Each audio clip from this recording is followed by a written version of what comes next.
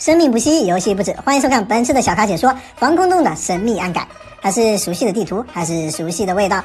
最近沙漠地图玩的有点多，小咖今天就打算回味一下《绝地海岛》。这是一局双排粉丝局，粉丝说，经过他这几天的测试，他发现防空洞可能暗改了。如果你是老玩家的话，你应该经历了防空洞从富到穷的过程。当然，也有些玩家已经很久没有玩海岛图了。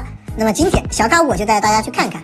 同时验证一下粉丝说的对错与否，一个文件的落地，潇洒而又不失风度。然后我们来看看到底有什么等着我们。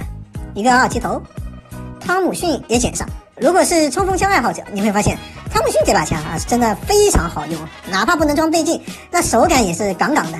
而就在这个时候，粉丝那边已经发出了惊呼。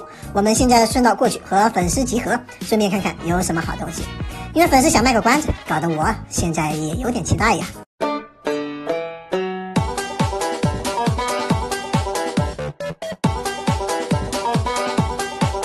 一路收过来，装备有一些，但是稀有装备却没有。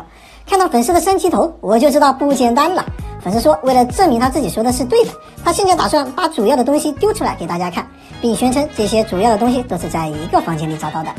升级包、升级头，后面的是九八 K，接着的是一把 Scar 以及一些子弹。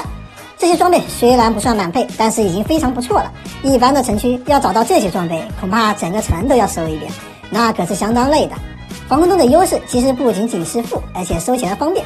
在此感谢这位粉丝提供的素材，我是小咖。如果你也有好的素材，可以在视频下方留言，期待下个视频有你的参与。咱们下期见。